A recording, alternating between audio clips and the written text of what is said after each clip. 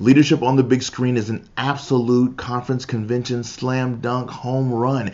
Who doesn't love movies? Who doesn't love uh, learning powerful principles from movies? So, Leadership on the big screen is a really, really cool, extremely interactive keynote experience where I literally teach you leadership principles, but I use it I do it using very, very brief movie clips from some of America's favorite movies.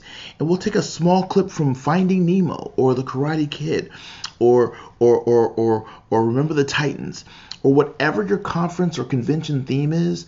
I'll pick out a couple of movies that I have in my arsenal that I really believe will literally burn the theme of your conference into the heart and minds of your attendees. And we'll take brief looks at those clips, but what's really profound is how I can extrapolate so much amazing content and information from those brief movie clips. Literally, a 90 second clip from Finding Nemo, I can pull 10, 12 different leadership principles, things that people have never seen before and are seeing them for the first time. That's what everybody says. I'll never look at that movie the same. People leave there saying, I got to buy that movie. I need to add it to my collection. I need to show up to my team. I need to buy it for every one of my staff members.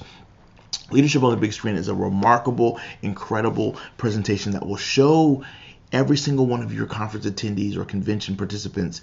It'll show them themselves. It'll show them how they show up as a leader and how to shift their own leadership styles, their leadership conversation, their leadership dialogue, how to lead more effectively and more authentically, even without a title. It's an incredible program for your organization, and I guarantee you it will be the talk of your conference. So maybe you should consider bringing leadership on the big screen to your convention really soon.